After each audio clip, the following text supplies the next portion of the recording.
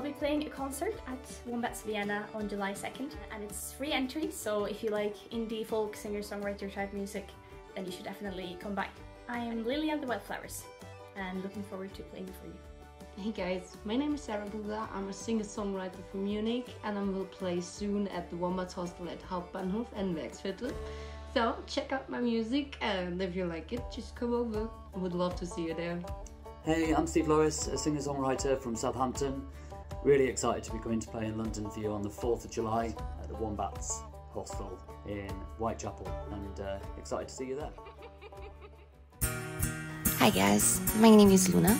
I will play for you on July 5th from 2030 at the Wombat Hostel on Király Street in Budapest.